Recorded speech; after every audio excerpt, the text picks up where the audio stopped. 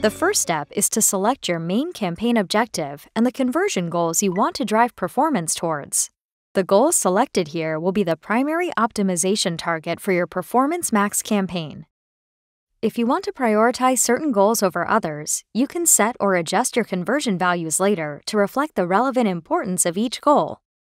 Once you've set up your conversion goals, select Performance Max as your campaign type to access all Google ad channels and inventory from a single campaign. Next, select a budget and bid strategy for your campaign. Make sure that your bid strategy also aligns with your business objectives.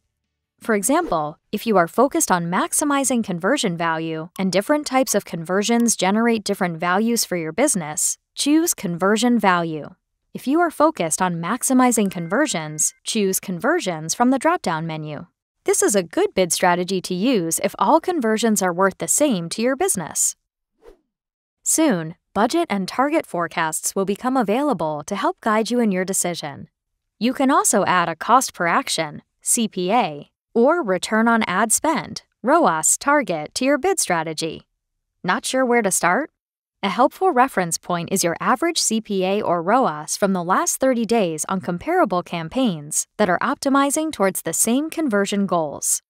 The campaign may also auto-suggest a CPA or ROAS target based on your historical account performance. You can use this or edit the number as needed. After you set your bid strategy and targets, you'll choose your campaign's location and language settings. You can also adjust other settings like your ad serving schedule or start and end date. Tracking template and final URL suffix settings are also available here. We recommend that you leave final URL expansion on to drive maximum coverage on relevant search queries. Performance Max should always be run together with your core keyword based search campaigns. Still, the final URL expansion feature helps you show up on additional searches that have a strong likelihood of leading to conversions. It uses landing page content across your website to dynamically customize headlines for your ads. You can choose to exclude certain landing pages from your website as needed, like your company blog or FAQ pages.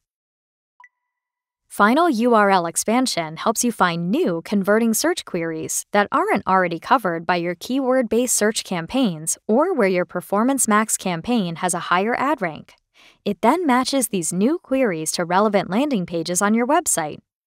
In addition, account level negative keywords allow you to exclude certain keywords from your Performance Max campaigns.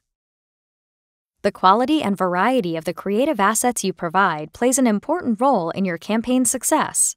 Asset groups let you manage different kinds of creative assets and are similar to ad groups in other campaigns. Your assets include the final URL or landing page that you'd like to send customers to, images, logos, videos, text headlines and descriptions, and a call to action. Create an asset group with creative assets that are related to a single theme. You can create multiple asset groups per campaign. Performance Max automatically assembles assets into all the available ad formats that are relevant to your conversion goals. When you provide more assets, this helps the campaign build a wider range of ad formats and show more compelling creative to users. This also allows you to appear on more inventory to drive more conversions or value. For images, you can upload them from your computer, load previously used assets from your account, or pull in assets from your website. Videos can be uploaded from YouTube. If you don't have a video available, Performance Max will automatically create a high-quality video for you using your assets. Check the Ad Strength indicator to see how you may need to improve your assets.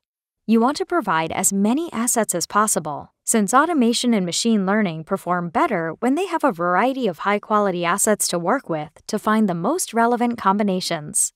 If you have unique insights about which segments of users are more likely to convert, or which ads you think will resonate better with a particular audience, you can use the new Audience Signals feature to let Google know.